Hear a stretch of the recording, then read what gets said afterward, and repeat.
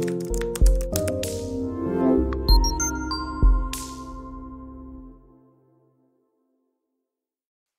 guys, and welcome to Code with Chuck. Today I'm going to show you how to make a door blueprint that opens and closes automatically.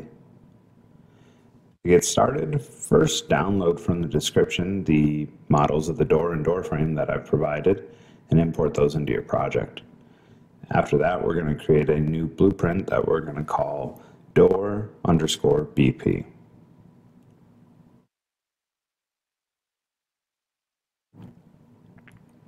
All right, let's open up the blueprint.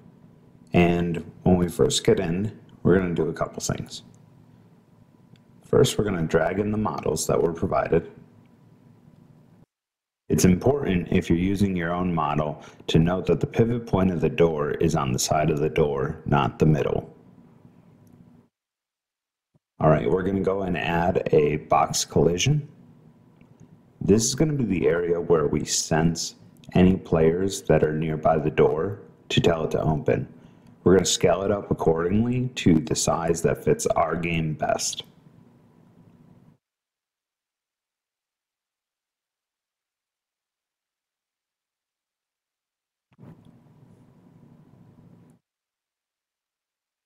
All right, now that we got that done, in our event graph, we're going to create a couple variables. The first variable is going to be is moving, and this lets us know if the door is currently moving, and then is open, which tells us if the door is open or closed.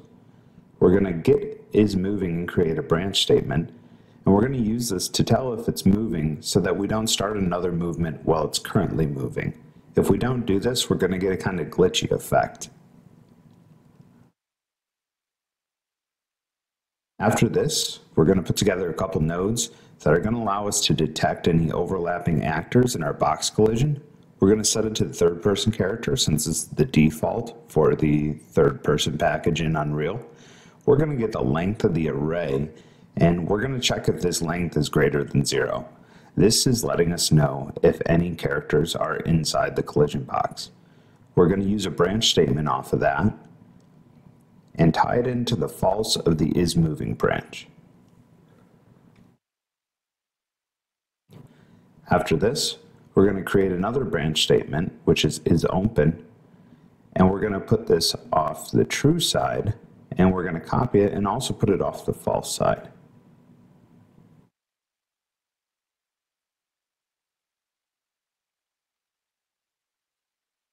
After this, we're going to set is moving to true because at this point we've decided to start our moving process and we don't want any other processes to interrupt the current one.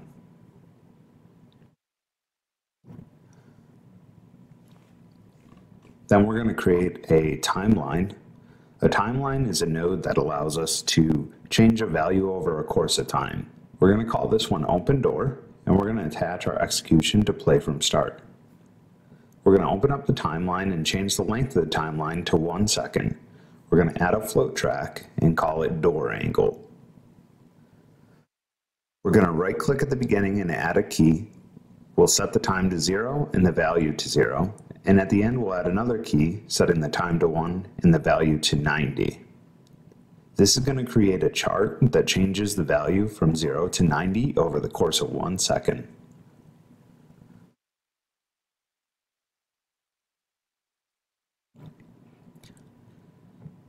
After this, we're going to make a copy of our timeline and add it below connecting to the play from start again, and we're going to call this one closed door.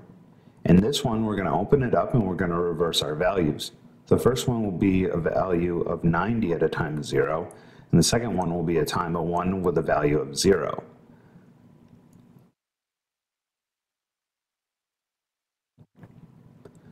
After this, we're going to take our door mesh and we're going to set the relative rotation of it based on the output of these timelines.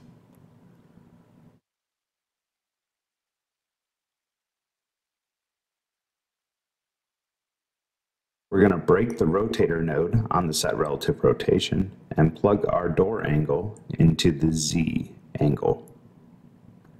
Repeat this again below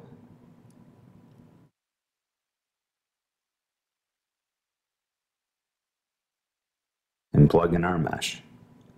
After that, we're going to set is open. On the top one, we're going to set it to true because we had just opened the door. And on the bottom one, we're going to set it to false because we just closed the door.